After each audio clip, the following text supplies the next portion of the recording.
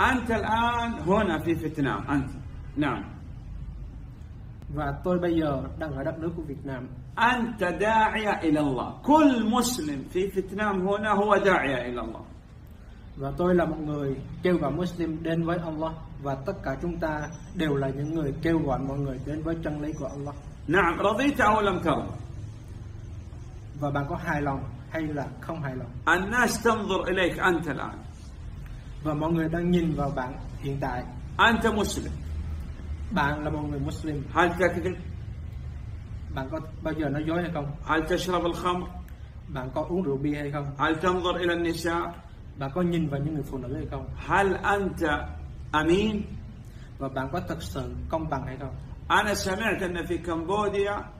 أكثر الناس طبعا غير المسلمين يبحث عن المسلم حتى يعمل لديه لأنه يعرف أمانة أهل الإسلام نعم في كمبوديا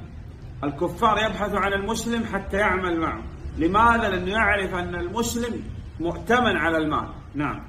và chúng ta hãy biết rằng ở Cambodia ở, ở, ở Campuchia thì những người không phải là người Muslim thì họ tìm kiếm những người Muslim để làm việc cùng với họ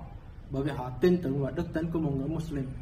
أحيانا تكون الدعوة بالعمل أعلى من الدعوة بالقول بالكتاب أحيانا نعم và đôi khi cái việc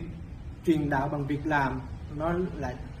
truyền đạo bằng việc làm của chúng ta nó là tốt hơn cái việc mà chúng ta truyền đạo bằng miệng نعم